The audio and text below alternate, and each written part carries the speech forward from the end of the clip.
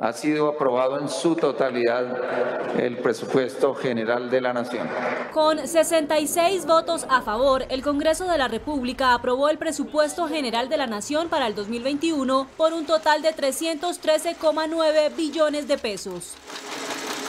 Este presupuesto, aprobado por esta plenaria del Senado, garantiza los recursos hasta junio del 2021 de 3 millones de hogares que están en ingreso solidario, pero adicionalmente lleva a un programa que, que nació con 100 mil hogares, lo llevó a 2 millones de hogares, conocido como el de devolución del IVA.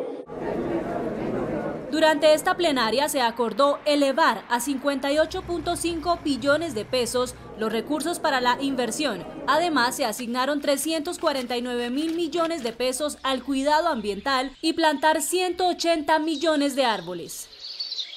El presupuesto de la reactivación.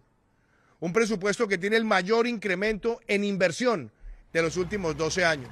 El mayor presupuesto para la educación en nuestro país, que va a tener la mayor inversión en vías terciarias. Sí, un tema que el director del DNP destacó como la finalización de una deuda histórica con el sector rural. Este presupuesto le entrega 650 mil millones de pesos en vías terciarias.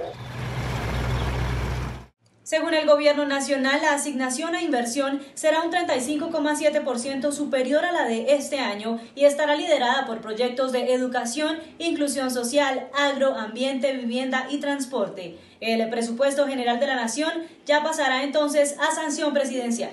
Desde Bogotá les informó Paula Osorio.